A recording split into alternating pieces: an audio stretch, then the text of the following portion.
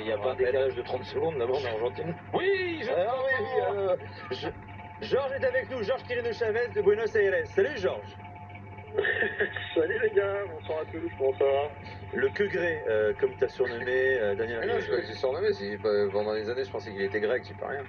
Euh, Georges, encore Ouais, parce que tu pensais que c'était Kirino avec un rappeler euh, les anciens. N'oublions pas que sur le 11 de départ, il y a un seul joueur de champ qui a 28 ans, les autres c'est entre 20 et 25 ans. Donc l'avenir de l'Allemagne évidemment est intéressante. Ce qui est vraiment impressionnant, et tu l'as dit Nicolas, c'est que euh, durant 45 voire 60 minutes, les, euh, l'Argentine n'a pas du tout existé et la domination de l'Allemagne, à ma connaissance, Sur la même histoire, avec cette passion pour les garçons tout le temps. et- Et puis bah, il se passe ce que les Allemands font depuis qu'ils sont incapables de garder un résultat pendant 90 minutes. Et donc les Argentins, que j'ai encore une fois trouvé très faibles avec un Dybala euh, fantomatique, euh, notamment, euh, bah, reviennent à 2-2, etc.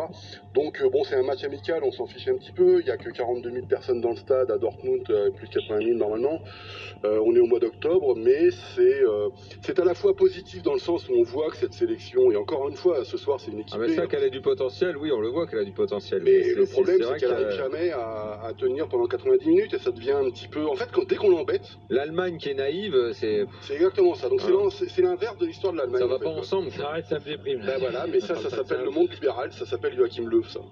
Et- Ah, et ça s'appelle les beaux petits bobos, ça s'appelle les beaux petits bobos et la révolution footballistique allemande. Ah voilà, sois plus précis parce que j'aimerais comprendre pourquoi c'est euh, Bon, le, monde libéral, le monde démocratie, mais voilà. Attendez, est-ce que, est-ce que Polo peut nous expliquer Voilà. Le- peux, le- hein, la tout. profondeur du, de- de la remarque